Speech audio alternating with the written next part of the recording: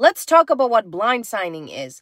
It's when you approve a blockchain transaction without fully understanding its details. It's like signing a blank check. You're giving permission for something, but you don't actually know what's happening behind the scenes.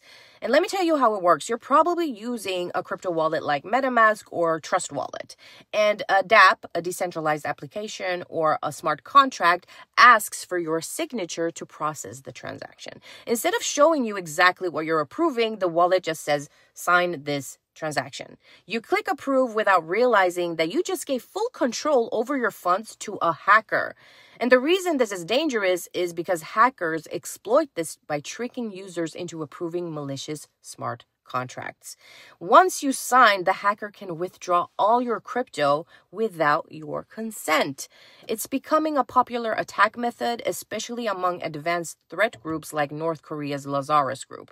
And the Bybit hack is a real world example. The hacker tricked Bybit's system into approving transactions without verifying the details. They used blind signing to move 1.5 billion worth of Ethereum into their own wallets. Once signed, the transactions couldn't be reversed and the funds were gone forever. Now, let me tell you how you can protect yourself. Never blindly sign transactions. Make sure to always review what you're approving. Use hardware wallets with screens that show transaction details before signing, like Ledger Nano X. Be cautious of dApps and smart contracts. Stick to trusted platforms.